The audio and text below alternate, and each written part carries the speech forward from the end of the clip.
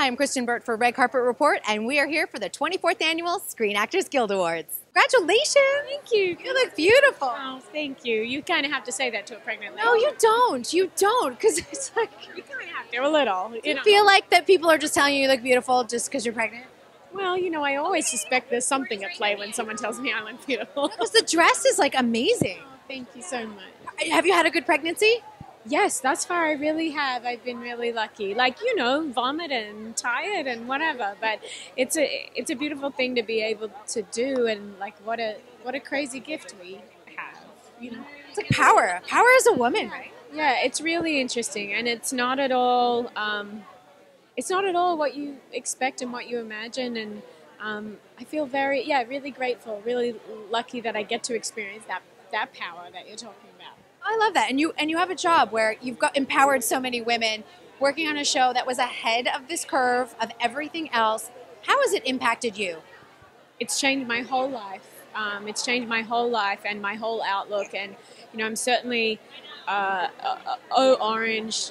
My my sense of alertness and uh, and engagement with uh, the changes that we can make and that storytelling can make and being involved and being active um, in those kinds of issues is has been become a much more impo- important part of my life and so I'm very grateful very grateful And I bet becoming a mom too, it's like something passing on to the next generation so vital. Hundred percent. I mean, I think whether people keep asking me if I'm having a boy or a girl, but for me, it's it's about either gender raising that next generation of of really woke, progressive, active, um, engaged little ones to do to do the, the next work for us. Oh, I love that. One final question. Um, we're asking everyone about their craziest SAG job that they've ever had. Not necessarily the first, but the one you're like, I cannot believe I'm getting paid to do this. Well, I got to tell you, my first SAG job was Orange Is the New Black. So good. I, you know, I, I'm from Australia, so um, actually, I didn't know anything uh, when I first started working and got the call one day. It was like, you, you need to. Now's the time to join up, and I was like, oh, all right. I don't, I don't know. I need that card. I need that card. What is it? What, do- what do I do?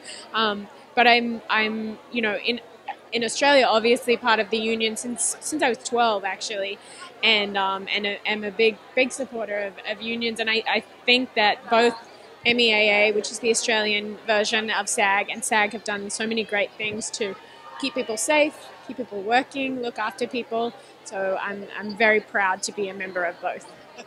We're glad to have you. Thank you. All right, well, have a wonderful and safe delivery, and we're looking forward to that next generation. Thank you very much. Have a great. day. Thanks for watching. Be sure to like this video, subscribe to our channel, and in the comments below, let us know what your favorite moment from the 24th Annual Screen Actors Guild Awards was.